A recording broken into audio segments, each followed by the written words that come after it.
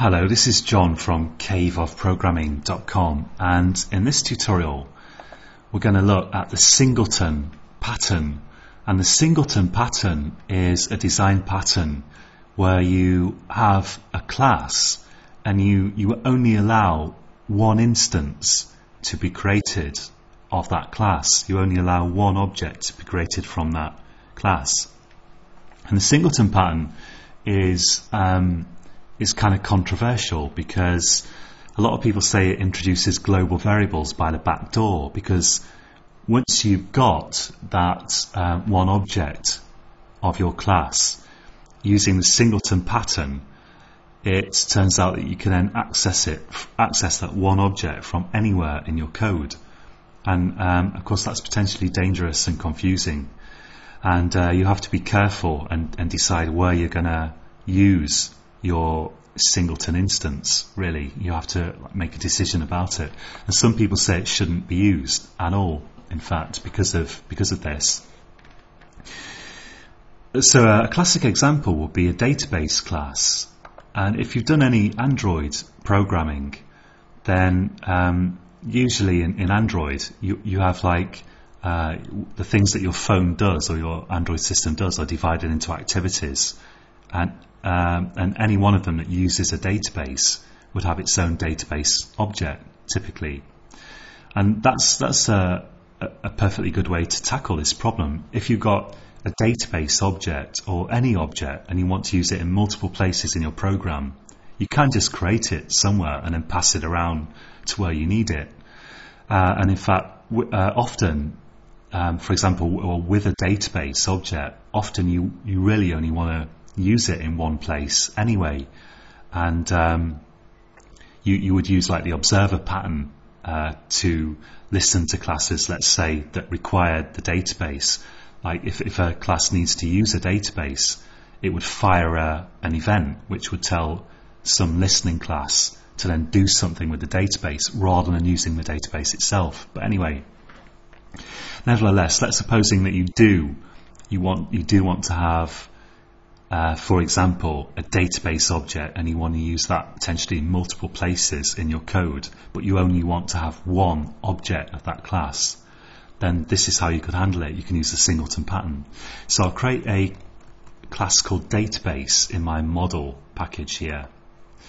And the reason why a database is such a good example of this is that uh, if you have a class like this that handles connecting and disconnecting to a database and then encapsulates a database connection, you, you don't want to have two of those objects floating around because then you will have multiple connections open to your database and usually you only want to have one connection open by your program. So this uh, singleton pattern is a good example of that because it will it will enforce only having one object which all your various classes can then use. So I've got my database class here and let's say I want to use it in this view class for example what I would do if I didn't have a singleton would be I'd say database DB, and this could well be a private instance variable, of course. Database DB equals new database. And the disadvantage of this is that I could do that anywhere in, in my code. I could create a new database object anywhere, and then I'd potentially be opening and closing multiple connections, which might not be good at all. So how can I just force there to only be one of these objects? And the way I do it is, firstly, uh, let's give this a constructor, public database. Now in languages like Java, which allow you to have private constructors, you can actually declare the constructor private and that prevents anyone doing new on your class anywhere uh, anywhere basically except within the class itself.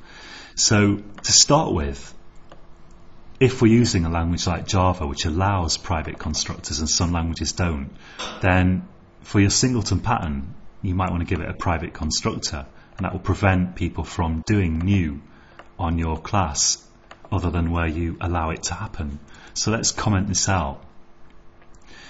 And where, where are we going to create this database object? And the answer is in the database class. And the way we do it is we have a private static database private variable called instance.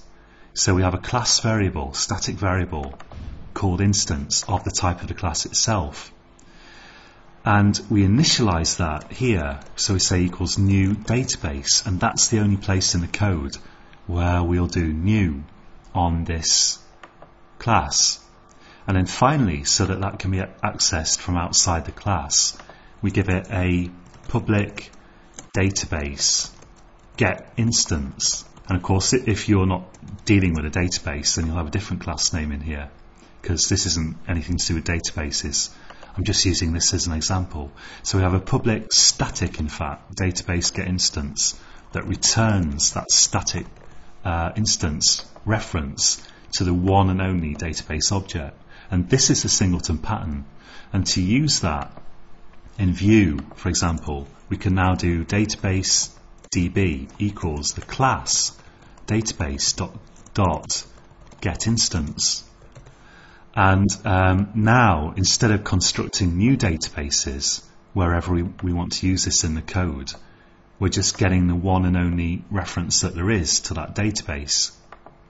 And that's created right here. Now this is uh, this is one way to do singleton, and it's generally the recommended way these days. Uh, this used to be done usually in a different way, and the way it used to be done, uh, and still sometimes is, is like this. You'd have your public static database get instance, and you'd have your private um, variable, private static database. Let's call this uh, DB because I can't use the same name again. Let's, actually, maybe let's call this get instance old, and then I can call this instance old. So this is the old way of doing it.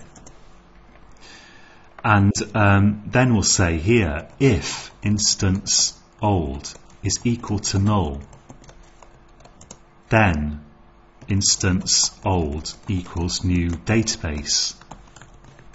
And then finally we can do return instance old.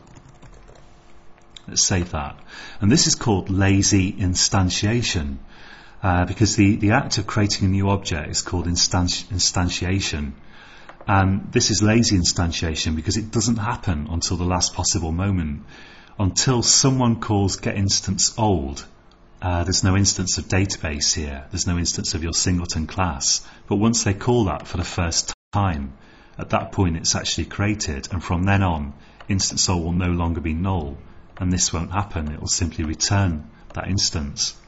And this is uh, sometimes a good idea, especially if for some reason you want to, you don't want your class to be constructed when your program starts. Let's say that for some reason that will just take too long you want to speed up the startup of your program. And uh, for some reason want to construct some I don't know massive class or something some massive object later on. Uh, then you can defer creation of it until get instance is is called. So that was um, part of the thinking behind this old way of doing it. But one disadvantage is that this is this is not thread safe whereas this probably is because um, here what could happen is that one thread could call get instance and uh, it'll say okay instance is null. And then a second thread could call get instance and it finds instance is null. And then the first thread creates a new instance.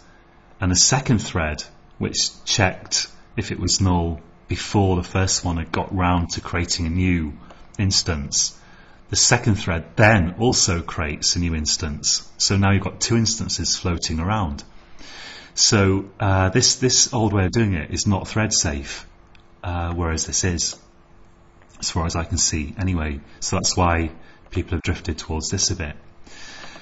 And now you can do this anywhere in your code, which is disadvantage in many ways, uh, because it is like a global variable. And um, one what I like to do with it here is um, I want to connect and disconnect from my database. So you can then proceed and add um, some methods to your class. So let, us say, for example, we could have a public void connect, and that will probably throw an exception or something. But for the moment, I'll just call it connect and I'll put in here connected to database and we could have a disconnect public void disconnect and let's say sysout disconnected just for the moment disconnected. And uh, where are we going to actually do this? Well there's, there's really three ways of handling this. One way is that every time you do a query you could connect and disconnect and that's going to be suitable. Um, this, this is nothing to do with singleton by the way but just to uh, finish this database stuff. One, one um, one typical example of that would be if you're connecting to some really little lightweight local database like a SQLite database that just puts its data in a single file for one user, for example, which is common with Android programming, then you could connect before a query and disconnect afterwards. If, if the connection connecting to a database is going to happen in no time at all, then you may as well connect and disconnect liberally but if you're connecting to some remote database, you might want to connect when your program starts up and disconnect when the program closes. And for that reason here, here in Swing, I added a window adapter as a window listener. And then when a window opens, I can say, well, I could use this here. I could use my DB. But another great thing that um, that Singleton allows you to do is you can use method chaining and I can say database.getInstance.connect now.